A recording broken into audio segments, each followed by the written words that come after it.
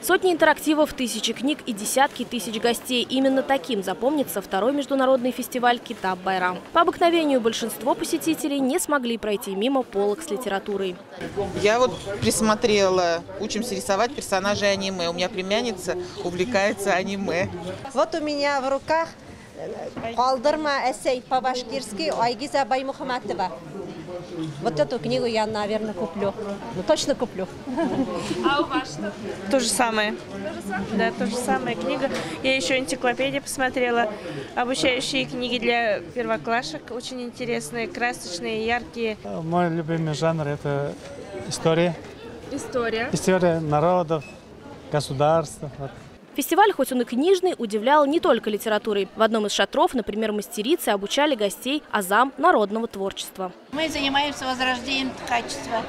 Наша модельная сельская библиотека «Силовик Ниткова» Шумайского района занимается качеством. Здесь же развернулась выставка цифровых картин, но посмотреть их можно только с помощью телефона. Наводим на QR-код, и на наших глазах картина оживает.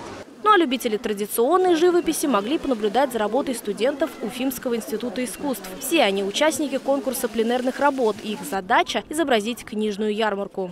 Расскажите, что у вас там вообще изображено? Памятник Шеймуратову и проходящие мимо люди.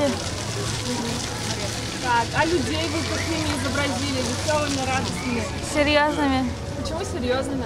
Но еще только утро и мало кто проснулся. Праздник посетили и первые лица республики и города. Ратмир Мавлиев, например, представил главе республики музейный инфотрак. Это передвижная экспозиция, которая повествует об основных этапах становления Уфы.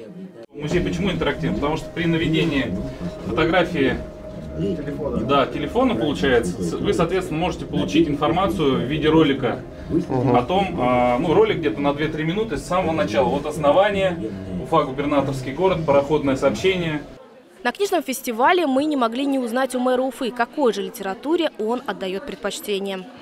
У меня их э, очень большое количество. Вот сейчас буквально пока ехал сюда, читал книгу про пластичность мозга и именно как нужно тренировать свои мозги. Вот оказалось, что наш мозг э, также нуждается в постоянных тренировках и необходимо постоянно нагружать его различными заданиями. За три дня в программе фестиваля были представлены кинопоказы, концерты, спектакли и встречи со звездами. В их числе Дарья Донцова, Александр Олешко, Михаил Шахназаров, Оксана Федорова и многие другие. Книги – это то, что нас объединяет, наш лучший друг и учитель, уверены в руководстве республики. Особенно важна эта миссия, когда изучаешь историю города. В рамках фестиваля презентовали книгу «Уфимские каникулы» или «Как пчелка Зуля стала королевой». В центре повествования история бурзянской пчелы Зули, которая, оказавшись в столице, пройдет увлекательный путь к выполнению важной миссии. Писательница Алла Кузьмина описала практически все памятники музея и важные достопримечательности, которые дают понять, что это Уфа.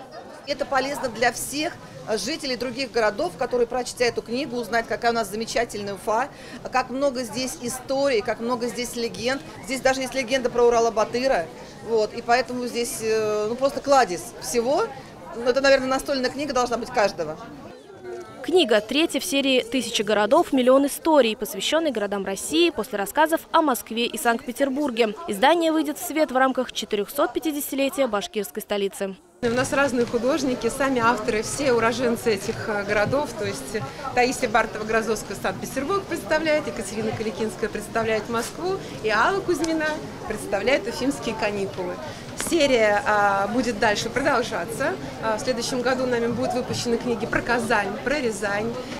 Внимание к книжному празднику растет. За три фестивальных дня события посетили почти 174 тысячи человек. Это на 11 тысяч больше, чем в прошлом году. Посетители приобрели 73 тысячи книг на общую сумму почти 9 миллионов рублей. Подводя итоги мероприятия, Ради Хабиров назвал Башкортостан яркой точкой на литературной карте России и пригласил жителей республики на ярмарку в следующем году.